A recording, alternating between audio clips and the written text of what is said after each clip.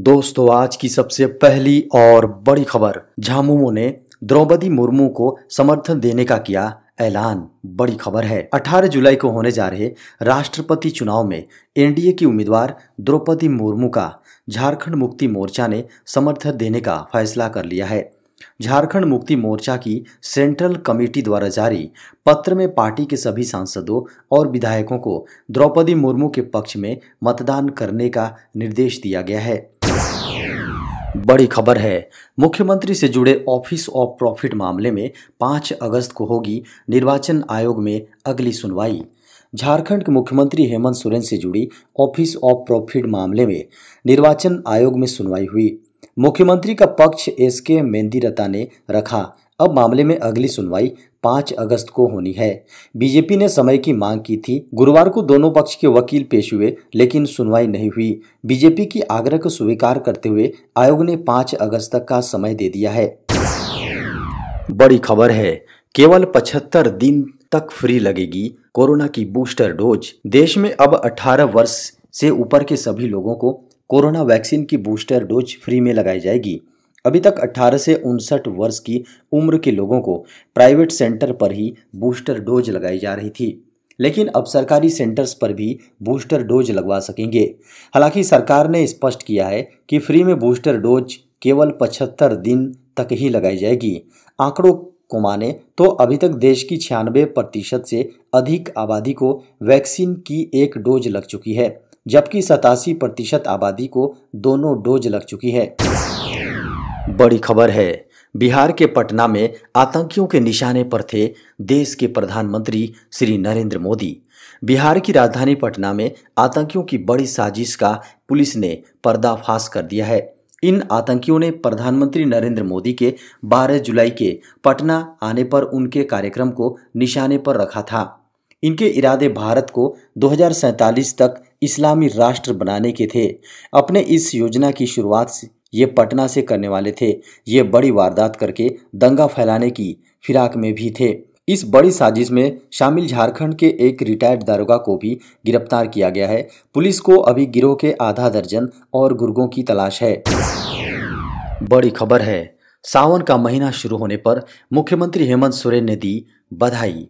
सावन महीना का गुरुवार को पहला दिन था। झारखंड के मुख्यमंत्री श्री हेमंत सोरेन ने ट्वीट करके झारखंड के लोगों को सावन की बधाई दी है। उन्होंने भोलेनाथ से सभी के स्वास्थ्य और समृद्धि की कामना भी की। इस बीच झारखंड के देवघर में श्रावणी मेला शुरू हो चुका है। कोरोना महामारी की वजह से लगभग दो साल से के बाद श्रावणी मेले का आयोजन किया जा रहा है। मुख्यमंत्री हेमंत सोरेन ने इसको लेकर ट्वीट करके कहा, पवित्र श्रावण माह के शुभ अवसर पर सभी को अनेक अनेक शुभकामनाएँ और जोहार। बाबा बैद्यनाथ आप सभी को स्वस्थ, सुखी और समृद्ध रखे, यही कामना करता हूँ। जय बाबा बैद्यनाथ। बड़ी खबर है। देश को साल के अंत तक मिल जाएँगे अग्निवीर। भारत सरकार ने भारतीय युवाओं के लिए एक ऐतिहासिक भर्ती योजना का ऐलान किया है। सरकार अग्निपथ योजना के तहत युवाओं को सेना में सेवा करने का मौका देगी। लेकिन ये कोई आम योजना नहीं है। इस योजना के जारी होते ही देश के अलग अलग राज्यों में जमकर विरोध और योजना के खिलाफ हिंसा बड़े पैमाने पर देखने को मिली। देश के विभिन्न हिस्सों में ट्रेनों को आग लगा दी गई तो कहीं सरकारी संपत्ति को नष्ट कर दिया गया। ये विरोध साफ़ तौर पर दर्शाता है कि भारत में बेरोजगार की समस्या कितनी गंभीर है। बता दें कि Centre for Monitoring Indian Economy के जारी किए गए रिपोर्ट की माने तो 2021 में देश का बेरोजगारी दर सात दशमलव छः शून्य प्रतिशत से बढ़कर सात दशमलव आठ तीन प्रतिशत पर पहुँच गया था। कहीं ना कहीं यही कारण है कि सेना भर्ती अभियान की घोषणा होने पर हर बार कम से कम पाँच लाख उम्मीदवार आवेदन करते हैं। इतना विरोध होने के बाद भी लाख लोगों ने अग्निपथ योजना के लिए आवेदन किया है। बड़ी खबर है। देवघर में श्रावणी मेले के पहले दिन ही उमड़ा दर्शनार्थियों का सैलाब। झारखंड के देवघर में गुरुवार को विश्व प्रसिद्ध श्रावणी मेले की शुरुआत के साथ ही दर्शनार्थियों की भीड़ उमड़ पड़ी है। पहले ही दिन अपराह्न एक बजे तक एक लाख से अधिक श्रद्धालु यहाँ स्थित मनोकामना ज्योतिर्लिंग का जलाभिषेक कर चुके हैं। एक महीने तक चलने वाले इस मेले में जलाभिषेक, जी हाँ जलाभिषेक और दर्शन का सिलसिला हर रोज सुबह चार बजे से रात दस बजे तक जारी रहेगा। बता दें कि बिहार के सुल्तानगंज स्थित उत्तर वाहिनी गंगा से लेकर झारखंड के देवघर स्थित बाबा धाम तक 108 किलोमीटर लंबे क्षेत्र में यह एशिया का सबसे लंबा मेला माना जाता है। बताया गया है कि गुरुवार को सुबह चार बजे से भक्तों को अर्घा के ज़रिए जलाभिषेक की अनुमति दी गई। बिहार के सुल्तानगंज से लेकर देवघर और दुमका स्थित बासुकी नाथ मंदिर तक का इस इलाका बोल बम के नारों से गुंजायमान हो गया। बड़ी खबर है। देश में फिर होगा सरकारी बैंकों का विलय। देश में सरकारी बैंकों की संख्या और भी घट सकती है। सब कुछ ठीक रहा तो आने वाले समय में देश में केवल चार या पाँच सरकारी बैंक होंगे। मीडिया की खबरों को माने तो केंद्र सरकार जल्द ही सार्वजनिक क्षेत्र के बैंकों के विलय के अगले दौर की शुरुआत कर सकती है। इसके बाद देश में सार्वजनिक क्षेत्र के बैंकों की संख्या केवल चार या पाँच रह जाएगी। इसके लिए यह व्यापक अध्ययन किया जा रहा है। केंद्र सरकार की योजना छोटे बैंकों को मिलाकर देश के सबसे बड़े ऋणदाता स्टेट बैंक ऑफ़ इंडिया की तरह चार या पाँच बड़े और मज़बूत बैंक बनाने की है। वर्तमान में भारत में सार्वजनिक क्षेत्र के सात बड़े और पाँच छोटे बैंक हैं। जिन बैंकों के विलय की योजना बनाई जा रही है, उनको अपना जवाब दाखिल करने को कहा गया है। इस बारे में सरकार भारतीय बैंक संघ यानी आईएबीए के साथ भी व्यापक विचार विमर्श करेगी। बता दें कि तीन वर्ष पहले 2019 में केंद्र ने 10 राष्ट्रीयकृत बैंकों के चार बड़े ऋणदाता बैंकों में विलय की घोषणा की थी। बड़ी खबर है, झारखंड में एक साथ दस हज़ार युवाओं को मिलेगी नौकरी। झारखंड के युवाओं के लिए बड़ी खुशखबरी है।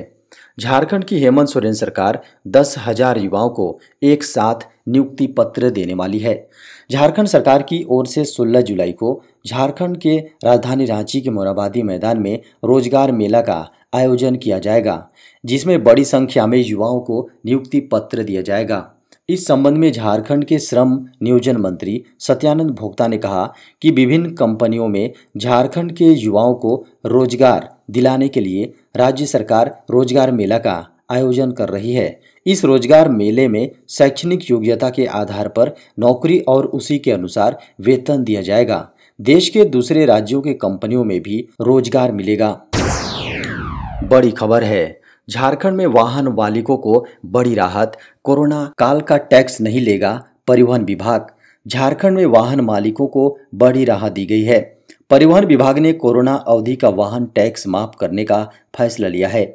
इसको लेकर विभाग की ओर से अधिसूचना जारी कर दी गई है। वाहन मालिकों की ओर से लॉकडाउन अवधि का टैक्स माफ़ करने की मांग की जा रही है। वाहन मालिकों की मांग पर राज्य के परिवहन विभाग ने परिवहन व्यवसायियों की परेशानी को देखते हुए कोरोना काल के दौर, जहाँ दौरान टैक्स माफ़ करने का फैसला लिया है। इसको लेकर वाहन मालिकों को ज़रूरी कागजात के साथ आवेदन जमा करना होगा। परिवहन विभाग के द्वारा इसको लेकर अधिसूचना जारी की गई है, जिसमें कहा गया है कि जो गाड़ियाँ कोरोना काल के समय बंद थी, उससे उस समय का टैक्स नहीं लिया जाएगा। उसके अलावा जो भी गाड़ियाँ बिना परमिट की वजह से सड़क पर परिचालित नहीं हो पा रही थी, वैसी गाड़ियों को भी बिना दंड शुल्क के परमिट जारी किया जाएगा। दोस्तों, खबर मौसम की। झारखंड में 17 जुलाई तक बारिश के आसार। झारखंड में 17 जुलाई तक बारिश की संभावना जताई गई है। मौसम विभाग ने 17 जुलाई को झारखंड के कई इलाकों में भारी बारिश की चेतावनी जारी की है। वहीं तापमान में भी गिरावट आने के संकेत दिए हैं। वर्तमान में दिन का तापमान 36 डिग्री के आसपास है। 17 जुलाई से इसमें 4 से 5 डिग्री तक की गिरावट आने की संभावना जताई जा रही है। 17 जुलाई को झारखंड के कई हिस्सों में वज्रपात और मेघ गर्जन के साथ भारी बारिश की चेतावनी जारी की गई है। खासतौर पर झारखंड के उत्तर पूर्वी और दक्षिण पूर्वी हिस्सों में कई जगहों पर भारी बारिश का अनुमान है। झारखंड के उत्तर पूर्वी जिलों में धनबाद के साथ जामताड़ा, गिरिडीह, देवघर, दुमका पाकुड़ गोड्डा और साहिबगंज जैसे ज़िले हैं। इन जिलों में 17 जुलाई को कहीं कहीं भारी बारिश हो सकती है। देश में पिछले 24 घंटे में आए कोरोना के बीस नए मामले। भारत में कोरोना मामलों में एक बार फिर बड़ा उछाल सामने आया है।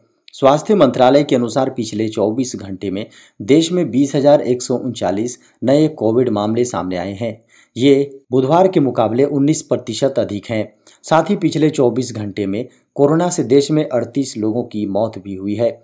इसी के साथ भारत में कोरोना से मरने वालों की संख्या बढ़कर पाँच लाख पच्चीस हज़ार पाँच हो गई हैं। स्वास्थ्य मंत्रालय के अनुसार देश में एक्टिव मामलों की संख्या बढ़कर एक लाख छत्तीस हज़ार छिहत्तर हो गई हैं। पिछले 24 घंटे में इसमें 3,619 की वृद्धि हुई है। वहीं 16,482 लोग इस अवधि में कोरोना से रिकवर भी हुए हैं। फ़िलहाल देश में कोरोना से मृत्यु दर अभी एक दशमलव दो शून्य प्रतिशत है। वहीं रिकवरी रेट अंठानबे दशमलव चार नौ प्रतिशत है। इस बीच देश भर में अभी तक कोरोना वैक्सीन की एक सौ निन्यानबे करोड़ से अधिक डोज लगाई जा चुकी है। बड़ी खबर है, सरकारी कर्मचारियों की बेसिक सैलरी में बढ़कर आएँगे आठ हज़ार रुपये यदि सरकार केंद्रीय कर्मचारियों के फिटमेंट फैक्टर में इजाफे की घोषणा करती है तो उनके वेतन में वृद्धि होगी। वर्तमान में कर्मचारियों को दो दशमलव पाँच सात प्रतिशत के आधार पर फिटमेंट फैक्टर के तहत वेतन मिल रहा है। जिसे बढ़ाकर तीन दशमलव छः आठ प्रतिशत किया जाता है।